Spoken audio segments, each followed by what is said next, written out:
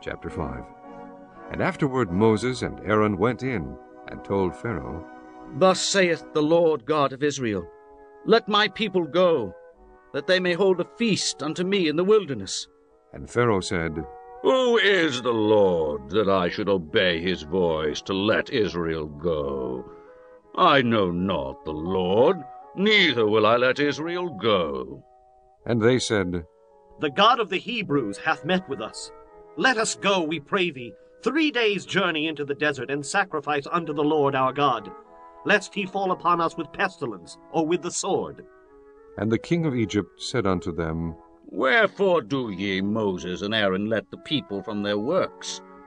Get you unto your burdens. And Pharaoh said, Behold, the people of the land now are many, and ye make them rest from their burdens. And Pharaoh commanded the same day the taskmasters of the people and their officers, saying, Ye shall no more give the people straw to make brick, as heretofore. Let them go and gather straw for themselves. And the tale of the bricks which they did make heretofore, ye shall lay upon them. Ye shall not diminish aught thereof, for they be idle.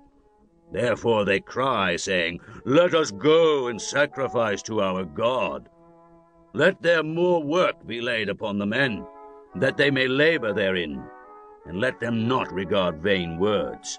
And the taskmasters of the people went out, and their officers, and they spake to the people, saying, Thus saith Pharaoh, I will not give you straw.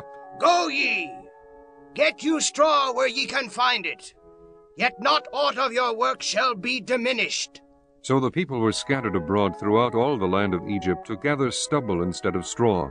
And the taskmasters hasted them, saying, Fulfill your works, your daily tasks, as when there was straw. And the officers of the children of Israel, which Pharaoh's taskmasters had set over them, were beaten, and demanded, Wherefore have ye not fulfilled your task in making brick both yesterday and today as heretofore?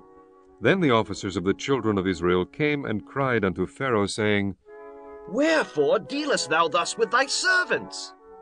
There is no straw given unto thy servants, and they say to us, Make brick, and behold, thy servants are beaten. But the fault is in thine own people. But he said, Ye are idle, ye are idle. Therefore ye say, Let us go and do sacrifice to the Lord. Go therefore now and work, for there shall no straw be given you, yet shall ye deliver the tale of bricks. And the officers of the children of Israel did see that they were in evil case, after it was said, Ye shall not minish aught from your bricks of your daily task.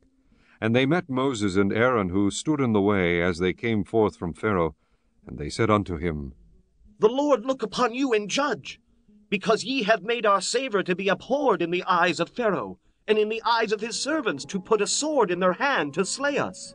And Moses returned unto the Lord, and said, Lord, wherefore hast thou so evil entreated this people? Why is it that thou hast sent me?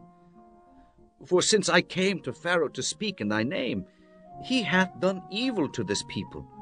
Neither hast thou delivered thy people at all.